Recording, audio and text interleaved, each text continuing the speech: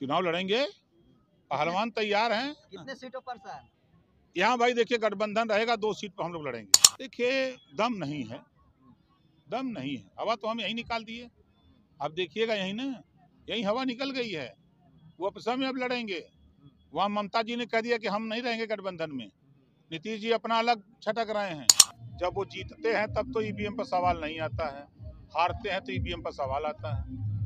Sir चुनाव आयोग को घेरने की बात हो रही है। चंद्रशेखर और मायावती इस मुद्दे पर एक एकजुट हो गए हैं। अच्छी बात है। एकजुट होकर अगर उनकी मंशा है तो वो अपना कार्रवाई करना चाहिए। सर आज आप जो है बिहार में के सिवान में आप रैली कर रहे हैं महारैली कर रहे हैं? क्या पर्पस है सर इसका? देखिए हम एक उद्देश्य लेके निकले हैं वंचित शोषित जगाने के लिए गुलामों को गुलामी का एहसास करा करके उनकी जकड़ी हुई बेड़ी को तोड़ना। छिहत्तर साल हो गए देश को आज़ाद हुए। आज तक एक भी एमएलए ना पाल का हुआ, ना प्रजापति का हुआ, ना नाई का, गोण का, कुम्हार का, राजभर का, रजवार का राजवंशी का, राजधोप का बेटा आज तक एक एमएलए नहीं हुआ। वोट आपके सामने है। आप देख रहे हैं कि पूरे बिहार के अड़तीस जिलों में खचाखच भरा है। इसी तरह हम जाते हैं तो मधेपुरा, कटिहार, औरंगाबाद, अररिया किशनगंज मीटिंग होती है। इसी तरह हम जाते हैं औरंगाबाद इसी तरह कैमूर बक्सर हम देखते हैं। इसी तरह पश्चिमी चंपारण पूर्वी चंपारण गोपालगंज देखते हैं। इसी तरह नेवादा नालंदा पटना हम देखते हैं। लेकिन दे यहाँ बिहार के नेताओं ने इनको गुलाम बना करके रखा है। सर 24 का चुनाव नज़दीक है ऐसे में बिहार के पार्टी की में आपकी क्या स्टैंड है? चुनाव लड़ेंगे। पहलवान तैयार हैं। कितने सीटों पर सर? यहाँ भाई देखिए गठबंधन रहेगा दो सीट पर हम लोग लड़ेंगे। कौन कौन से सीट है सर? अभी नहीं बता पाएँगे बंटवारा होगा तो बता देंगे। सर इंडिया अलायंस पर क्या कहेंगे ओपी राजभर जी? देखिए दम नहीं है दम नहीं है। हवा तो हम यही निकाल दिए अब देखिएगा यही ना यही हवा निकल गई है। वो आपस में अब लड़ेंगे। वहाँ ममता जी ने कह दिया कि हम नहीं रहेंगे गठबंधन में। नीतीश जी अपना अलग छटक रहे हैं। नीतीश जी के ऊपर तो ठप्पा लगा हुआ है। कांग्रेस का ही विरोध नहीं करेंगे वो लालुओं का विरोध करके चालू है वो कहीं जाएँगे। उनकी हम उनकी उनकी बात की कोई गारंटी नहीं है। अभी आप बोल रहे थे कि 2024 में बिहार से कोई सांसद बनेगा तो बक्सर से के चला जाए कि उदयन जी लड़ेंगे देखिए चालीस लोकसभा सीटें हैं हम लोग चालीसों लोकसभा सीट पे काम कर रहे हैं। आप यहाँ देख रहे हैं जिस तरह का हुजूम इसी तरह इससे बड़ा हुजूम आपको हम गया देखा हमने हमने नवादा में देखा हमने कैमूर में देखा बक्सर में देखा हमने अभी पश्चिमी चंपारण में देखा हमने गोपालगंज में देखा हमने गया में देखा। अस्सी चालीसों लोकसभा सीटें जो है उसमें कोई भी सीट लड़के हम जीत सकते हैं। सर जिस राजभर की आप बात कर रहे हैं उस राजभर में कुछ ऐसे भी लोग हैं जो राह भटक गए हैं और कुछ लोगों के कहने पर सभा में भी नहीं आ पाए हैं उन लोगों को क्या संदेश देना चाहिए देखिए जो साथी नहीं आए हैं अभी उनको सही जानकारी नहीं है कि ओम प्रकाश राजभर क्या कर रहे हैं। वो चूँकि हमेशा गुलाम बना करके लोग रखे हैं तो हमेशा गुलामी की बात करते हैं। हम गुलामी से आज़ादी दिलाना चाहते हैं। सर विपक्ष जो है ईवीएम पर सवाल खड़ा कर रहा है। क्या कहेंगे इस पर? जब वो जीतते हैं तब तो ईवीएम पर सवाल नहीं आता है।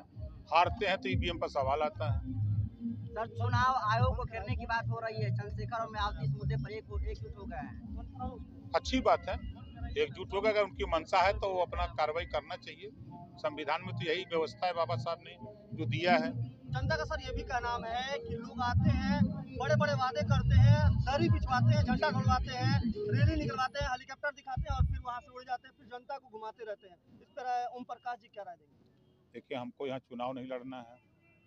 नहीं जिस तरह आपने बोला कि हम पूरे समाज को लेकर एक राजभर के लिए नहीं पूरे समाज पूरे समाज की बात हो रही है। संकल्प की बात की सबको लेकर एक ओम प्रकाश एक मजबूती के साथ कदम बढ़ाया है। बिहार में पहली बार आए हैं ओम प्रकाश जी तो सबको लेकर चलेंगे। उन लोगों को मैं बोल रहा हूँ कि किस तरह देखिए। बिजली का बिल माफ़ होगा तो सबका होगा। आपने सुना। बिल्कुल बिल्कुल। शिक्षा जो हमारी नीति है शिक्षा लागू होगी तो सबके लिए लागू होगा। स्वास्थ्य की जो हमारी नीति है वो सबके लिए लागू होगा।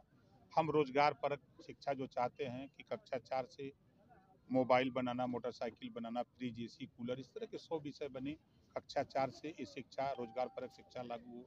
इसका लाभ एक जाति को नहीं मिलेगा। जब शिक्षा लागू होगी, रोज़गार परक शिक्षा तो सबके लिए होगी। जो भी जातियाँ बिहार में हैं या देश में, जो छः हज़ार सात सौ तिरालीस जातियाँ देश में हैं, सभी जातियों के लिए लागू होगा।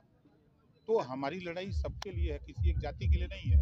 अब चूँकि लोग क्या किए हैं, हम उन पे नहीं जाते। हम क्या करना चाहते हैं, हम अपनी बात करते हैं। सर अहम सवाल ये है कि जिस राज्य भर की आप बात कर रहे हैं, लोगों में ये भी कहना आता है कि जो एमएलए बन जाते हैं और हमारा कोई सुनता नहीं, जैसे थाना पुलिस हुआ या कोर्ट कचहरी हुआ या ब्लॉक का कोई काम हुआ, ये बेचारे गरीब होते हैं, मजबूर होते हैं और ये लोग थाने तक नहीं पहुंचकर किसी नेता को पकड़ते हैं और जाकर पैरवी करवाते हैं और उनका पैरवी भी नहीं सुना जाता है। इसको आप कैसे देखेंगे? देखिए, इसी बात को हम इनको एहसास करा रहे हैं कि हमारे यहाँ यूपी में हम लोग अपने अपने विधानसभा में सैकड़ों नेता बना दिए हैं और वो नेता जा कर के विधायक की हैसियत से, जाके वो खुद विधायक बन कर के थाने पर तहसील पर ज़िले पर वो अपना काम करा लेता है।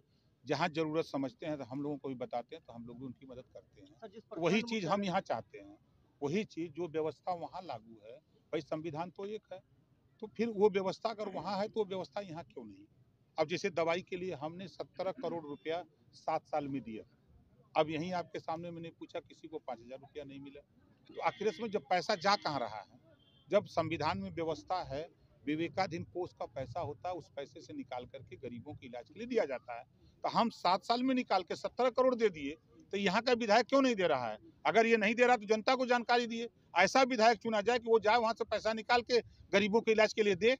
इस तरह की व्यवस्था हम चाहते हैं। सर, हम ये पूछ रहे हैं कि जैसे यहाँ के लोग आज आए हुए हैं सभा में, काफ़ी दूर दूर से आए हुए हैं। एक नहीं कि जिला से नहीं, कई प्रखंड से लोग आए हुए हैं, पूरे सिवान जिला के लोग आए हुए हैं। इन लोगों में एक ईद और छठ का त्योहार खुशी दिख रहा है कि हमें आज मजबूती मिला है। आज हर चीज़ से हम लड़ सकते हैं राइट रॉन्ग नहीं राइट जहाँ पर हम सत्य में हैं वहाँ लड़ सकते हैं। तो ऐसे में आप हुसैनगंज मुख्यालय पर बैठे हुए हैं हुसैनगंज प्रखंड में किस नेता को आप मानते हैं किस युवा को मानते हैं जो प्रखंड का पूरा काम देखेगा? यहाँ पूरी टीम हमारी आई थी हमारे सत्रह नेता आए थे यूपी से। गाँव गाँव चौपाल लगा करके प्रखंड में तहसील में ज़िले में सबको नेता बना दिए। महिला नेता राष्ट्रीय स्वयं देव सेना युवा मंच मेन बॉडी सब नेता बना दिए हैं। बना करके पूरा कागज़ पत्र यहाँ के प्रदेश अध्यक्ष को सौंप दिया गया यहाँ के जो जिला अध्यक्ष हैं उनको सौंप दिया गया। अब उनकी देखरेख में एक बैठक होगी। सर रामलला के प्राण प्रतिष्ठा के दिन राष्ट्रपति जी को नहीं बुलाया जाता है। इस पर क्या आपकी राय है? कॉन्ट्रोवर्सी है कि उनकी आदिवासी जाति की वजह से नहीं उनको बुलाया गया? अब ऐसा कुछ नहीं बहुत लोगों को नहीं बुलाया गया। राम तो को लाने वाले आडवाणी जी को नहीं बुलाया गया। आडवाणी जी को नहीं बुलाया गया। सर आप तो गए थे झोला झोला ढोते हुए ढोते हुए नहीं नज़र आए सर। बिल्कुल आप आप- आपके चश्मे में झोला दिखता था झोले में प्रसाद थी। बता दी सर एक और मसला सर गरमाया हुआ है डॉक्टर रितु सिंह है दिल्ली यूनिवर्सिटी के प्रोफेसर हैं उन्हें निकाल दिया गया जॉब से। इस मसले पर आपकी क्या राय है सर? अब किन कारणों से निकाला गया है वो जाँच का विषय है। अब पूरी जानकारी तो हमको है नहीं कि हम उस पर बता पाई।